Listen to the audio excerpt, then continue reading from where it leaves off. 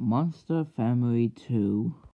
Okay, I'm just gonna say this right now. I have seen the first Monster Family and it was and it was terrible. Like the story was objectively a ripoff of the Addams Family mixed with Mo- Hotel Transylvania. The animation is kind of mediocre, but it still doesn't quite fit in well, and the characters are just pointless. And then there comes the the dumbest creation is by making a sequel to a monster family. Well, I can't expect too much out of Sky because oh, why not would they make a sequel of the worst films? So, with that said, how bad can Monster Family 2 be? Let's just get this over with. The story. I'm just gonna start off saying that the biggest problem with the story is that Oh, it's super generic and basic. And here is why. So it starts with two characters that I forgot the name of that game Mary, but then a, a villain comes in and steals them, and then they all, the flipping main characters have to save them and the other creatures that they barely even know, all because this is an environmental message of an anime film. But I gotta say, this, this environmental message has been overused and not that quite useful anymore. Even with the parts with the Loch Ness Monster and the Yeti and the Gorilla, whenever the main characters connect with them, it's just pointless and just filler. And yes, even for the humor, like, it can have some, some, like, humorous moments, but they're honestly quite rare and not even funny. So, yeah, I don't know if Sky would ever find this to be the, make their own story, but no, they just have to copy it, cause that's Sky for ya, kiddies. The animation. So I did say that the that the first Monster Family's animation was decent. So you think that the second one would be just like that, right? I mean, it technically does, but not exactly in a good way. The big problem with the animation is that it's the same thing we always seen before. We've seen the Arctic, we've seen the jungle, we've seen space, we've seen it all even though the character designs do stay true to the first film, but then you have other designs like the monsters or creatures, and they look pretty now strange. That doesn't even look like they belong in the that they look like they belong in the cartoon for some reason.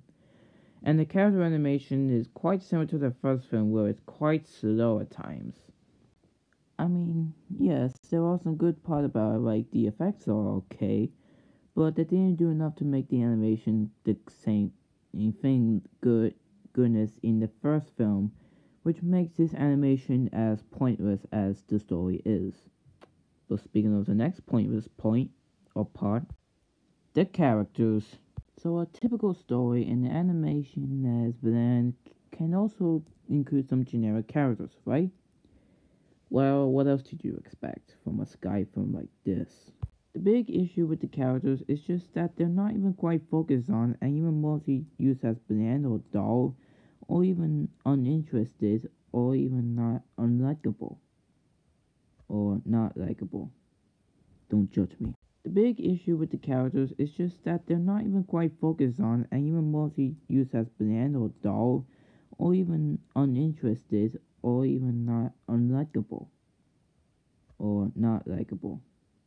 Don't judge me. You got Emma, who is your typical mother like in other anime films. Frank is the dumb Frankenstein that luckily doesn't say oofta anymore because that dialogue was atrocious to listen to. Ray is the obnoxious bratty girl, or diva, and Max is your typical nerd that all that sounds like he passed puberty mo- months ago. And the bats are just there just to bring out laughs, like they're trying to be like Minions ripoffs, just like from the first film. Even though they make them way more pointless since people are overdoing this. Like I said with the environment. Okay, I'm just gonna stop with that accent. And surprisingly, Draco does show up in the film, but his role is just pointless since he only shows up from the beginning and the end. As for the new characters, you got Mila, who is it was the one who captures the monsters because of the errands, errands, because they think they want to bring up peace. But about them twists, they don't seem like good twists in the film. And now I think about Mira, it's just clear, treated as Max's love interest. Because I guess the films can't get enough of that, right? And even the monsters do appear in the film, but they're also just pointless, just used as comic reliefs, because why not? The film does have some characters, I mean, the first film does have characters that don't feel like I saw in an open room, but in the sequel, they pretty much have that title. Monster Family 2 is your is a generic and hopeless is animated sequel with a dull story, a message that's way too overused, animation that can be okay but it doesn't add anything new, and characters that you rather forget or you really do want to hate. And my recommendation goes to those Monster Family fans, if there's any. But even like children won't even, even look at this and think it'll be good.